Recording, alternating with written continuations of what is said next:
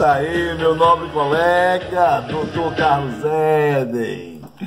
Nobre colega, da internet, colega advogado. Hoje nós estamos aí aniversariando, aniversário de amizade nossa, e é um prazer para mim. Muito obrigado por ser meu amigo, doutor Carlos Eden. Um forte abraço.